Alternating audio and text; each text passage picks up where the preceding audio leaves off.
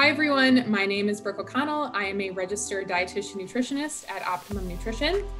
Uh, as a registered dietitian, I'm trained to counsel people on food and nutrition.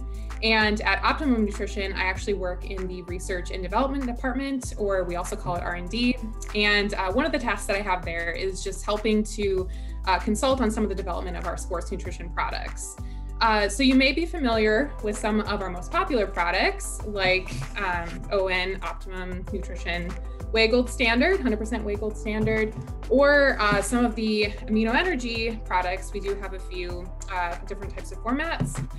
Um, or you know this might be something that's completely new to you and we we do understand that it can be a little bit confusing uh, maybe even a little bit intimidating for some people uh, so our goal today is to you know help provide some information for you about nutritional supplements, talk about a few products and their benefits, and then address some of those common questions that people might have about supplements. And I'm joined by Maria Birova today, who's a certified personal trainer and is also here to ask me some of those common questions uh, when it comes to supplements. So, with that, we can get started. Hello, everyone. We're going to jump right into the questions. So, one of the first common questions about supplements is why might someone be using supplements? What are they supplementing? Yeah. Uh, so, you know, there's a variety of reasons why I think people are going to be turning to supplements. Um, for the most part, though, I, you know, quite literally think about supplements as something that's going to supplement my diet or help me to meet my estimated nutrition needs. And so, you know, an example of that might be protein supplements someone may choose to include a protein supplement just to help them, you know, meet their estimated protein needs. Awesome. And then who can use supplements? Is supplements made just for bodybuilders? Uh yeah, so supplements can be incorporated into most people's diets, I would say. Um, you know, just depends on the goals that you might have. I know for some of us, we're probably going to think of those more extreme athletes, uh, like bodybuilders, when, when we're thinking about supplements. Um, but you know, there's there's all different types of supplements on the market, and they fall into different benefit categories as well. Where I think that you know it could benefit a wide range of people. Uh, again, it just kind of depends on your own individualized goals around nutrition and, and your activity goals. Mm-hmm. And I always think it's important to to make sure that uh, you consult with your healthcare provider uh, before you start anything, uh, just to get some more individualized advice. Awesome. And what are some of the most commonly used supplements? Yeah, um, so I think when we, we think about most commonly used supplements, uh, multivitamins come to mind right away, uh, just because I think it's kind of like an all encompassing solution for a lot of people. Um, I also do think about protein supplements as a pretty common one too, just because um, convenience factor is there. It's pretty easy to incorporate it. And then again, you know, if you're trying to meet your, your estimated protein needs, it, it's kind of an easy way to do that. And what are amino acids and why are they put into these supplement products? Yeah, um, so amino acids are, are the building blocks of protein. Uh, there's different types of protein sources out there that are going to provide different uh, types of amino acids for us. Um, we'll oftentimes see amino acids that are either naturally occurring in a supplement or that have been added. Uh, and naturally occurring just means that, you know, it's naturally uh, found in, in that protein source. Gotcha. Um, and then I also just wanted to highlight too, I think it's important to know that uh, there are essential amino acids and there are non-essential amino acids out there. Um, and the essential ones are more that we'll be focused on just because uh, we do need to obtain these through our diet. Gotcha. And so, what are the different types of uh, kinds of protein from whey, plant based, isolate, hydrolyzed, and casein? There's so many on the market. What's the difference between all of them? Yeah, um, yeah. So some of those that you named, uh, you know, we're going, they're going to fall into either a plant-based option or a uh, an animal-based source. And so we can start with um, animal-based. You know, obviously these are coming from an animal source, and uh, you know, one one of the more common or the common types of animal proteins that we often find in supplements are going to come from those milk proteins, and so you'll see like whey or casein.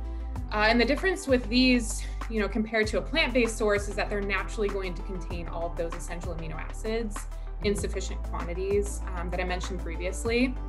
Whereas a plant-based uh, protein source, it, you know, is going to have um, amino acids in there, but uh, you may see different combinations of, of plant-based sources, such as um, like nut or pea, maybe rice proteins. Uh, and so these these different combinations are going to provide a different profile of amino acids um, to the consumer.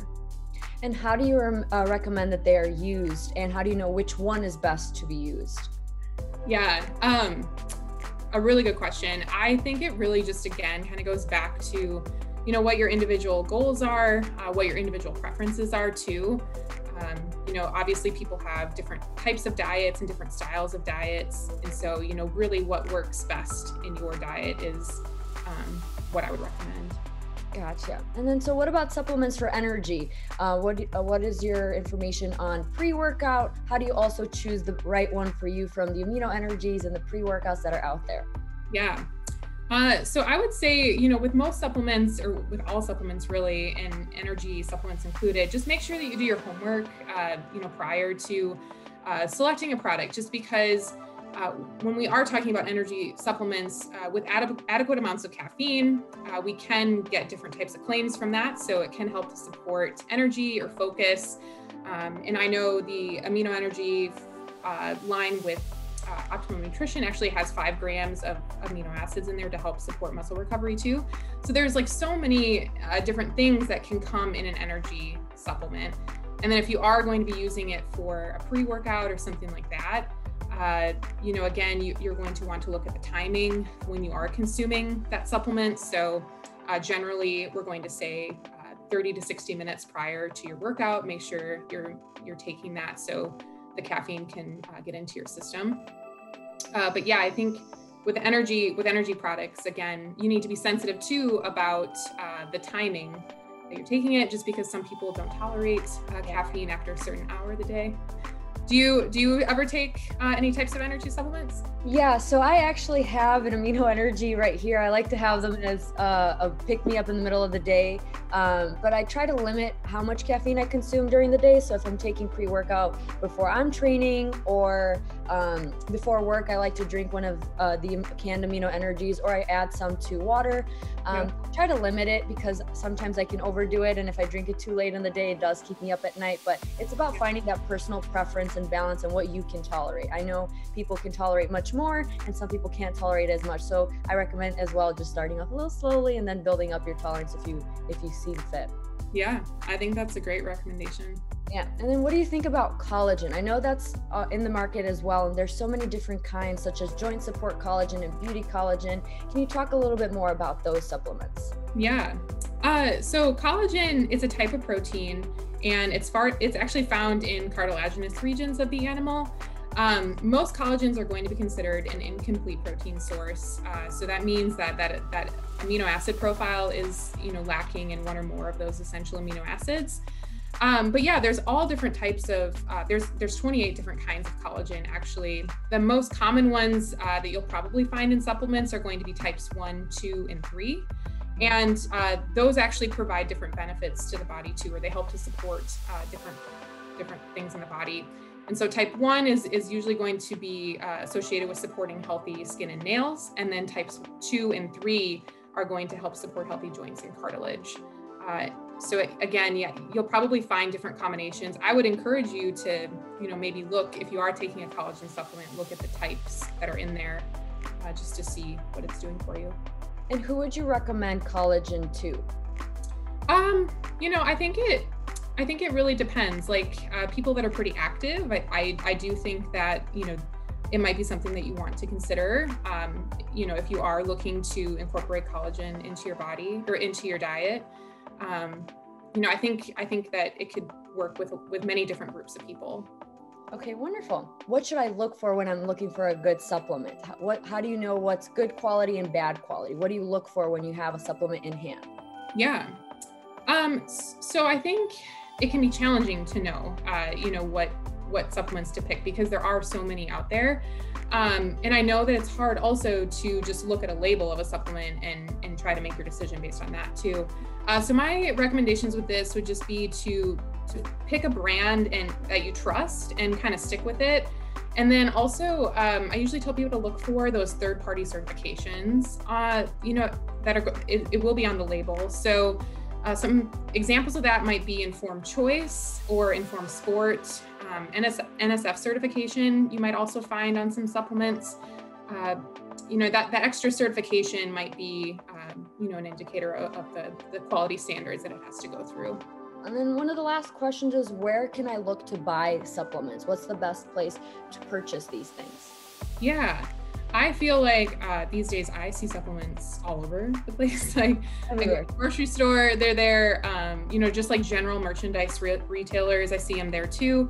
Um, you know, even just going directly to the, the brand that you're supporting, just going directly to their website or other online retailers, you know, you can find you can find supplements um, pretty easily, I think. Well, that wraps up most of the questions for um, all things supplements. Thank you so much for answering them for us today. Yeah, thanks for thanks for joining us. Remember that good nutrition along with exercise is important for overall fitness and wellness. Um, you can learn more about Optimum Nutrition products at optimumnutrition.com and find more educational videos like this one at onbuildingbetterlives.com. Thank you. Thank you.